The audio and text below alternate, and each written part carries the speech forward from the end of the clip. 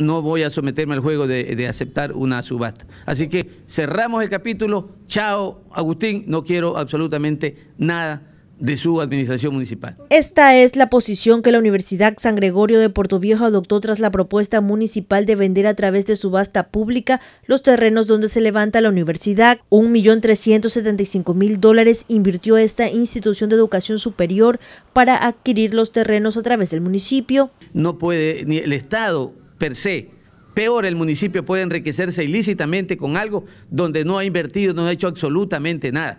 Según el edil Erwin Valdivieso, el municipio, pese a que no utilizó fondos propios para comprar las 10 hectáreas de terreno, legalmente el predio donde se construyó la universidad les pertenece. Una vez que se perfeccionó esa compra-venta, el predio automáticamente por ser comprado con recursos ingresados al municipio, se convirtió en un bien municipal. Asegura el municipio está dispuesto a garantizar que el predio se vende a la universidad, que actualmente tiene un comodato por 90 años para utilizar los terrenos. Ahora ellos necesitan los predios, le decimos, está bien, la corporación decide que hay que vender, pero mediante el mecanismo de subasta pública, garantizando, eso sí, mediante algún mecanismo, que la universidad no pierda esos predios.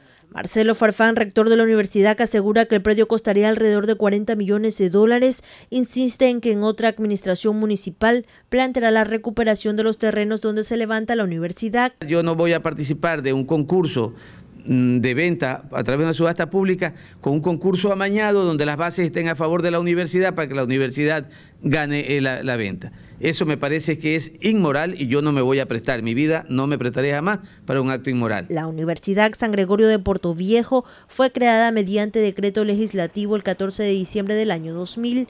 Actualmente tiene dificultades de orden legal en cuanto a la constitución de su patrimonio, que fue levantado en terrenos que legalmente le pertenecen al municipio de Puerto Viejo.